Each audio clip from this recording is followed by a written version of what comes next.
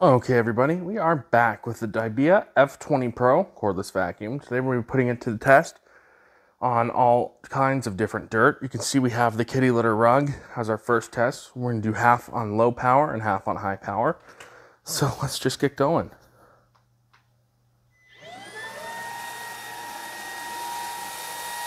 See, in forward pass, it actually did a pretty good job.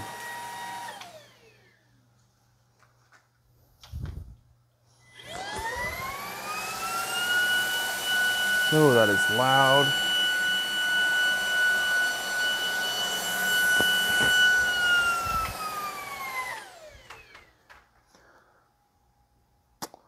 There is a little bit less litter on the carpet. See, there's a couple pieces here that weren't left.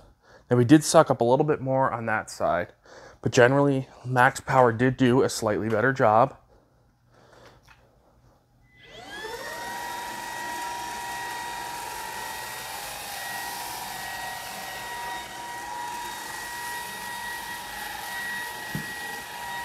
I think I'm to turn it to high. On the product page, it claims 25 minutes of runtime on this power mode. It has a 250 watt brushless motor in here. There's three bars on the back telling you the battery life. As you can see, had no issue with that dirt right there. So I'm gonna see how well it works on my main carpet.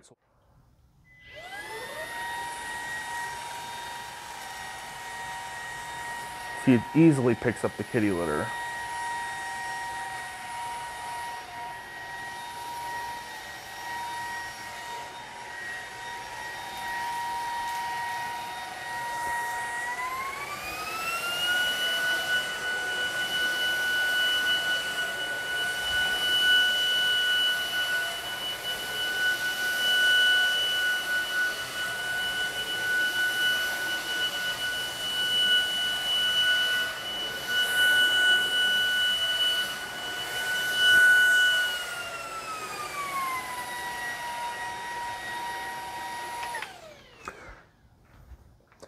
As you can see, that did an excellent job. So I'll be right back and we're gonna go get some different types of dirt to test this on. Okay, the next test is the carpet surface clean test. We have wheat bran, oats, or actually oats are there.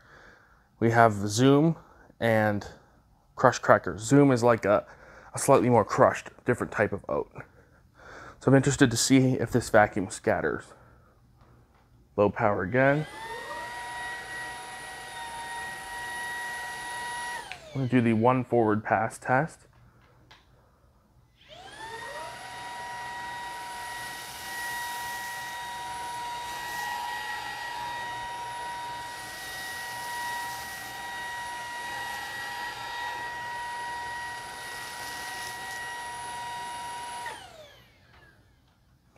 You can see here a little bit of the wheat was scattered the uh, oats, but generally that was a pretty good job. Not much debris was left in the carpeting, so let's switch to max power. Oh, that is so loud. Definitely one of the louder cordless vacuums I've tested.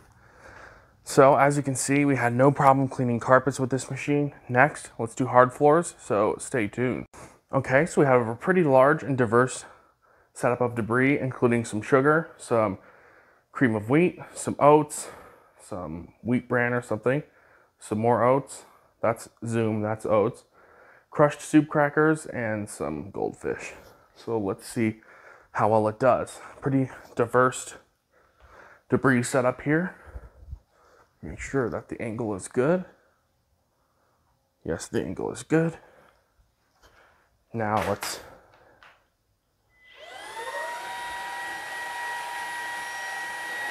Sugar was mostly picked up a little bit in the grout line. The backwards pass removed that.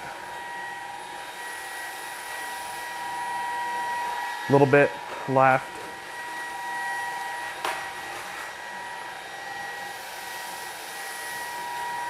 Pretty easily remove that.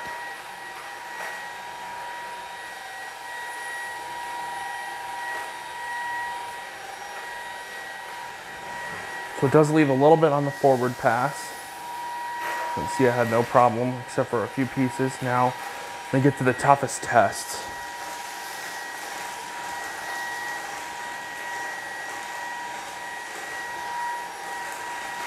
Now the goldfish are just too large for this vacuum, as you can see. But it's pretty easy to just suck those up by hand. I mean, like with, like this.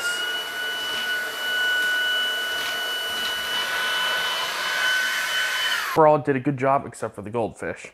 So next, let's see how well the F20 Pro does at removing some stuck-in pet hair from upholstery.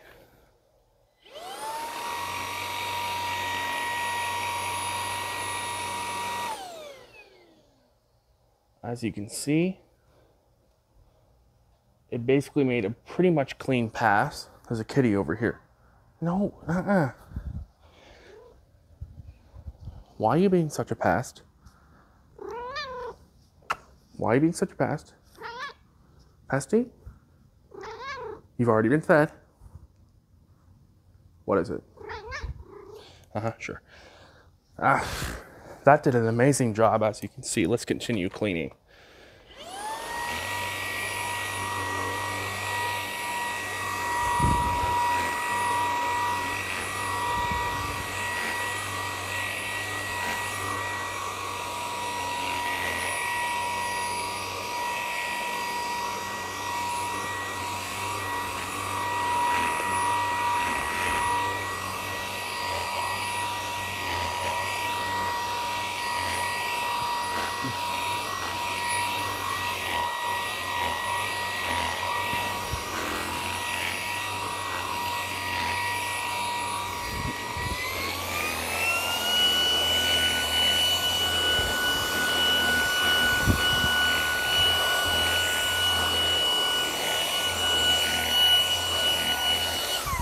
As you can see, it made pretty easy work of all that pet hair.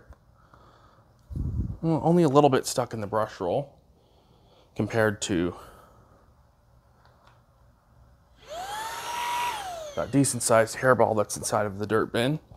So overall, I would give that a definite, I I'd give that a, I don't know, an 8 out of 10 for the cleaning performance. It's definitely better than most of the other motorized tools I've used on some other cordless vacuums recently. So yeah, that did a heck of a job. So next, uh, we're just going to go over some of the final like features of the vacuum and finish. All right, now we're just gonna go quickly over the maintenance and the wrap up of this test. So this vacuum has one filter. To remove the bin and access the filter, you press this forward. The whole motor rotates upwards. You turn the bin clockwise. And then to empty, you just press this button right here and the door will open. The cyclone can also be removed by pulling these tabs right here and then the cyclone will come out. The condition of the filter is pretty good. It's a multi-layered filter. It's foam and then it has a high efficiency filter up here. Pretty clean after all that dirt. The battery is removable and can be charged separately. You press this trigger right, button right here and the battery comes out. You charge it through this port right here. It is a 56, or almost basically 57 watt hour battery, which is pretty big for a vacuum of this price. This brush roll I'm not sure how to take this out. I'm not sure it even, no, it doesn't look like it comes out actually. It is a pretty wide diameter brush and there's not much pet hair stuck on it, but this brush roll does not appear to come out unless there's something I'm not seeing, but there's no hook, no button, nothing to, whoa, wait a second, it looks like there is. Looks like pressing right here. It does come out. That is really small but yeah, it comes out. yeah, comes right off. Okay, so it does come out.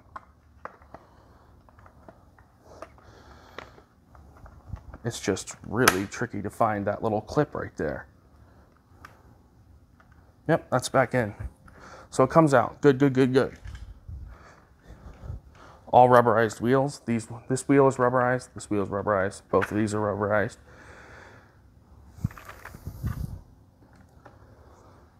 It also comes with this tool, which will get some pet hair stuck on it, but it's really easy to clean. You just, and then it's really simple. No tools required. Not even a screwdriver. I'll give that a good rating just because it doesn't need tools to take apart. And as you saw in the upholstery test, it did a pretty good job. It also comes with two more tools. This tool here, which has a little fuzz thing right here to pick up hair. It also extends out to be a brush.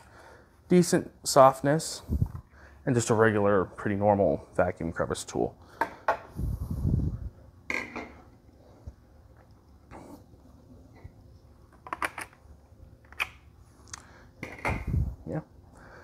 Without the battery or, or bin, this weighs like nothing. It's just the motor.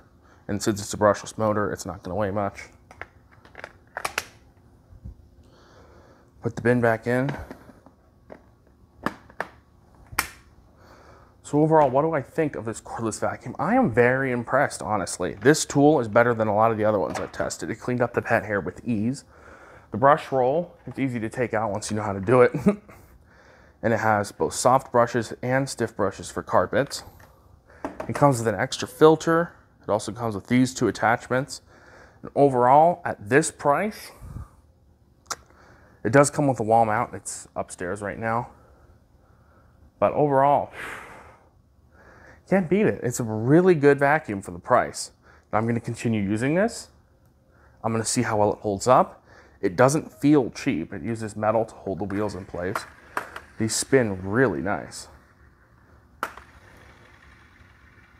They used a different type of hose here because the ones that are like metal hoses with wrapped with plastic usually break. These ones are a little bit more flexible so they don't tear as easy.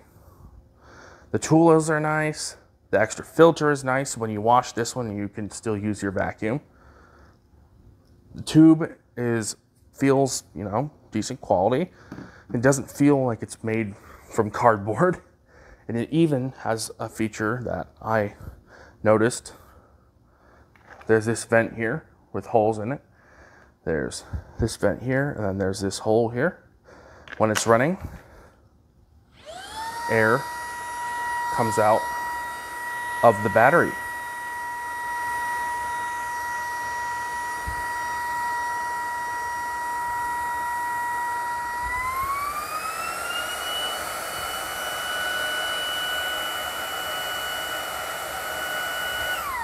Air comes out of the battery to cool it. That's pretty nice. So when the more speed that's going on in the motor, the more air that'll run through the battery to keep the cells and electronics cool. So overall, I like it. Still have three bars, as you can see. No crazy advanced control panel like on other vacuums I've tested, but overall, it's a good vacuum for the price, and I, overall, for now, recommend it. We'll see how well it works over time, but I like it, and I think that this is a good option. So, hope you enjoy, and I'll see you next time.